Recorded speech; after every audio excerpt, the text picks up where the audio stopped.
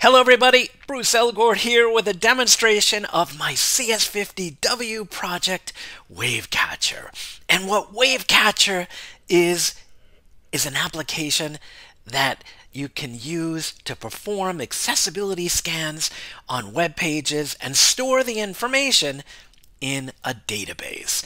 So without any further ado, let's take a look at WAVE Catcher. So the first thing I'm going to do is log in. And here is WAVE Catcher. So let me quickly take you around the application.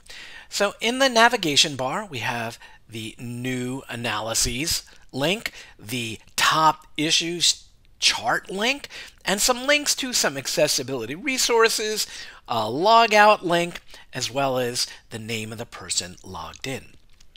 You can see in the application here these rows in a table of information about scans that you or another user of the system has already performed and stored inside of WAVE Catcher. Each one will include the title of the website, the link to the page that was scanned, a link to the Wave uh, report that gets generated, the information, well, the date uh, at the date and the person who performed uh, the scan, as well as if the record was updated. All right, and there's a trash can so you can delete a, a, a, a record. And to the right, you see these columns, and these columns contain information that was sent back from the Wave API uh, and collected and stored in the database. These first three columns are the ones you, that a person uh, should pay attention to. And as you can see in these red uh, squares here, these are, are are, are scan results where there are in fact issues that need to be addressed. You see the green zero right there? That means there were no errors that needed to be addressed for this particular site here.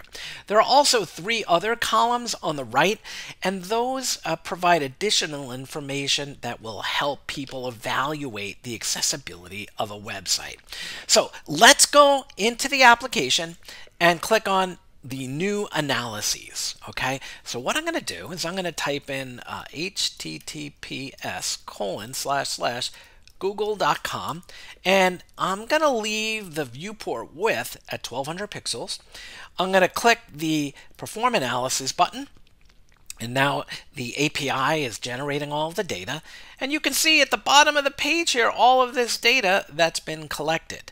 It provides links to the various uh, things that the API detected as in this case as an error and as you can see here it takes you to a page where you can learn more about that error and how to resolve it all right you can then click on the save analysis button right there and the uh, uh, analyses get saved in the database. Here it is right here, Google, and there's the information right there.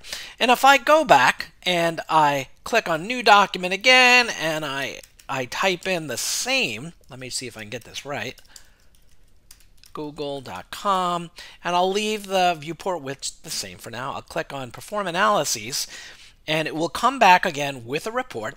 I'll click on Save Analyses, and you'll notice here that it updated the existing record with the data that was collected. All right, and you can see that right here in the view, the updated information. So I'm just going to delete this one for now. It's going to ask me whether I want to um, delete that record for sure, and it's gone. The last thing I want to show is this top issues chart, which is utilizing the Chart.js uh, open source charting engine, and it shows you, uh, and let me just fade away, it'll be a little easier to see here. It shows, right, the top issues reported in the 10 analyses, the 10 accessibility analysis analyses that were collected in our application. So this has been WAVE Catcher. And uh, if you ever have any questions, please let me know. Have a good day and thank you for watching.